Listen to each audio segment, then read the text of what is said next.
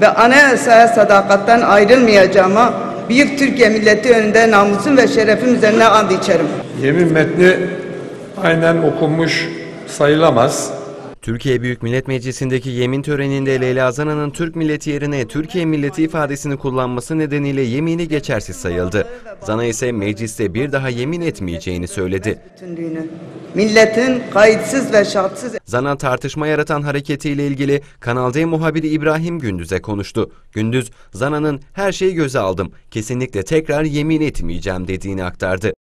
Bazı şeylerin değişmesi gerek, her şeyi göze aldım, kesinlikle tekrar yemin etmeyeceğim. Ayrıca önceki yemin töreninde de Türk milleti yerine Türkiye milleti ifadesini kullanmıştım.